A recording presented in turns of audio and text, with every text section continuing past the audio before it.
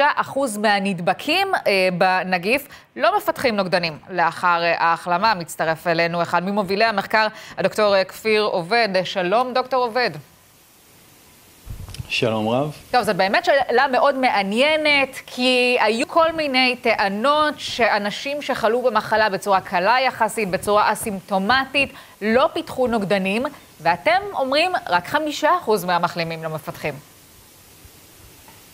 זה לא אנחנו אומרים, זה הדאטה אומר. תסביר לנו את הדאטה הזו, כי זה מחקר עד כמה שאנחנו ראינו אחד הראשונים בעולם שמצביע על נתונים כאלה, לא? אה, המחקר הזה מצטרף לעוד כמה עבודות אה, חזקות, גדולות ויפות שנעשו ברחבי העולם בחודשים האחרונים. אה, המחקר הזה התחיל בכלל ממקום מעט שונה, אני רוצה לקחת אותנו קצת במנהרת הזמן לתחילת שנת 2020, הקורונה יוצאת לדרך, אין למעשה שום קיטים דיאגנוסטיים, שום בדיקות סרולוגיות טובות שאושרו על ידי FDA, והשלב הראשון היה בכלל לנסות לאתר בדיקות שה... המדינה, מדינת ישראל יכולה להשתמש בהם ונדע בדיוק מה רמות הדיוק שלהם בשביל שנהיה מסוגלים לעשות מחקרים אפידמיולוגיים אה, מדויקים.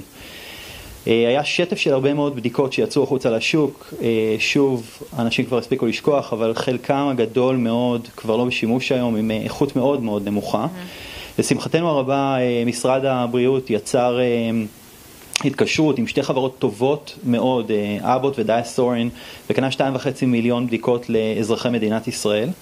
ואז בעצם הגענו לסוג חדש של בעיה, וזה שאנחנו לא בדיוק יודעים מה הביצועים של הקיטים האלה. כלומר, הם קודם נרכשו, הם לא עברו אישורי FDA מסודרים, והם התחילו להגיע לארץ, ורצינו לדעת בדיוק מה הביצועים שלהם. אני, אני רוצה, אז מכאן בעצם בכלל הייתה המוטיבציה. עוד לפני הביצוע, אני רוצה לדבר איתך על הכותרת הזאת, שהיא כותרת בומבסית. השאלה היא...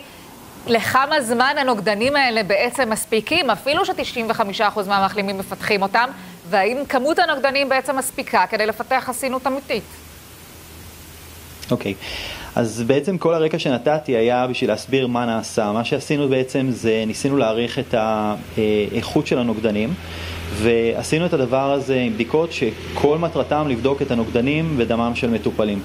אה, לקחנו את שני הקיטים שנקנו על ידי מדינת ישראל, הוספנו אליהם עוד ארבעה קיטים נוספים, לקחנו 700 חולים אה, עם קורונה, בשלבים שונים אה, אחרי ההדבקה, החל מחולים כמה ימים אחרי ההדבקה וחולים עד חודשיים וחצי, שלושה לאחר ההדבקה.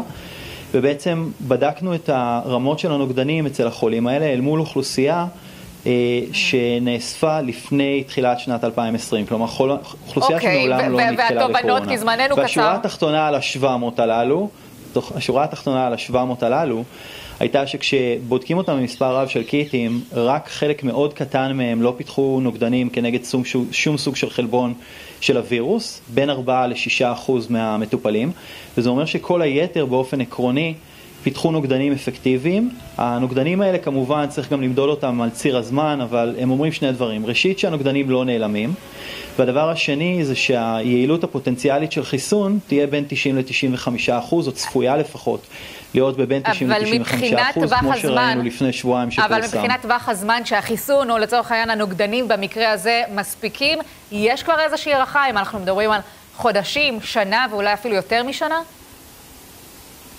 הדרך המקובלת לבדוק את זה נקראת אה, זמן מחצית חיים. אנחנו לא בודקים הרבה פעמים לאורך אה, שנים, אלא בודקים פרקי זמן מסוימים וקובעים באיזה קצב הנוגדנים דועכים.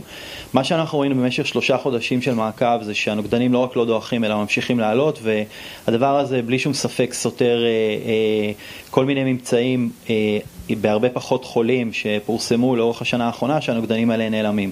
יש תת אוכלוסייה אחת קטנה של בערך אחד מ-20 חולים שלא מפתחים נוגדנים והם גם אנשים שעשויים להיות בסיכון לזיהום אה, אה, נוסף, לזיהום שני. Mm-hmm. אוקיי, okay, טוב, דוקטור אה, כפיר עובד, אלה מסקנות אה, ותובנות אה, מאוד אופטימיות גם באשר לחיסון, כמו שאמרת. תודה רבה ששוחחת איתנו. חד וחלק, תודה רבה.